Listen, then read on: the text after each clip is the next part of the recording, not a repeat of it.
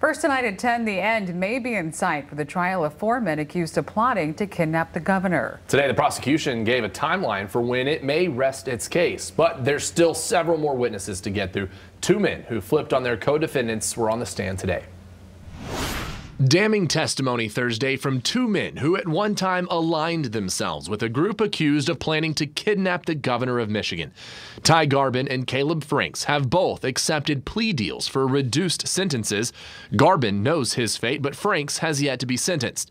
Defense attorneys, though, fear the two men may be sweetening their stories for even less time behind bars. My guy didn't agree to do anything. Right. I mean, are they just making things up at this point? If they're describing your client's actions when he well, wasn't the there? the toughest thing is when they, they combine lies with the truth, and that's when it's really hard to discern what's what, right? But you'll be able to piece it all as things move forward. Oh, yeah, and I think the jury, the jury Franks testified that he had spoke individually with each member of the group about their plan to kidnap Governor Whitmer, saying each of them felt justified in carrying it out.